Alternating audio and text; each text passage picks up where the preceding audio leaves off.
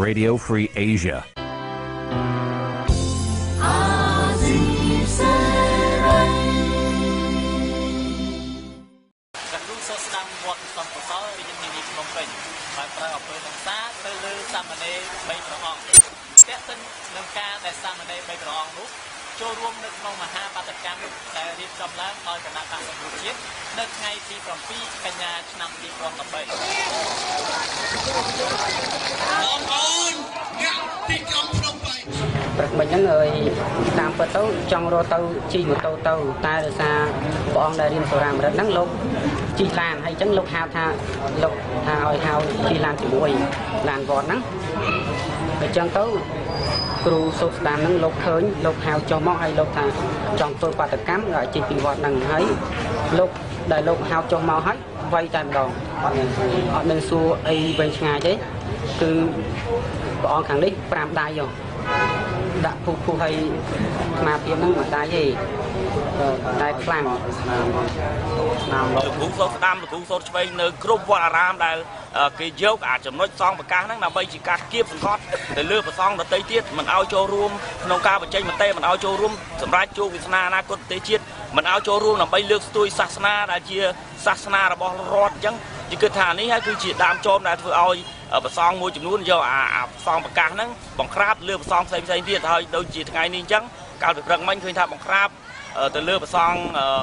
នៅវត្តសំកសលចំនួន3ព្រះអង្គយ៉ាងខុសខើពីសំណាក់លោកគ្រូសូស្ដាំឈ្មោះយមចម្រើននឹងឯងអាត្មាសូមបិណ្ឌបាតទៅខាងថ្នាក់ដឹកនាំដែលមានឈ្មោះដល់ល្បីគឺ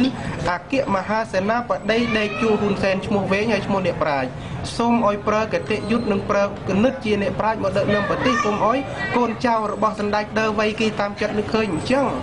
បើសិនជាសម្ដេចដាក់ឈ្មោះព្រោះឲ្យឲ្យកូនចៅដើវៃគីពេញប្រទេសឈ្មោះសម្ដេចស្អុយអាសាបងណា ហើយឆ្លៀកឆ្នោតជាលំដល់លំដាប់លំដោយបើសិនជាមិនឈប់វ័យគីទេមួយមួយយ៉ាងទៀតសូមទូលថេរដីកាចំពោះអគ្គមហាសង្ឃរាជក៏ដូចជាសង្ឃនាយកនិង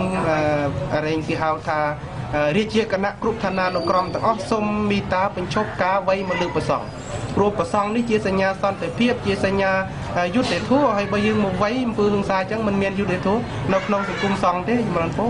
ឈប់វ័យទីទៅអាត្មាបិណ្ឌបាតនឹងសូមប៉ុណ្ណេះនៅរសៀលថ្ងៃទី7កញ្ញាប្រសងដែលរងអំពើហិង្សានិងប្រសងជាច្រើនអង្គផ្សេងទៀតព្រមទាំងមន្ត្រីអង្គការសង្គមស៊ីវិលអះអាងថាប្រសិនបើគ្មានដំណោះស្រាយចំពោះករណីអំពើហិង្សានេះទេពួកគេនឹងអាចឈានទៅដល់ការធ្វើបាតកម្មដើម្បីរកយុត្តិធម៌ ខ្ញុំជាសុជាមេតាវត្តជូអាស៊ីសេរីរាយការណ៍ពីវត្តសំសំកសលរាជធានីភ្នំពេញ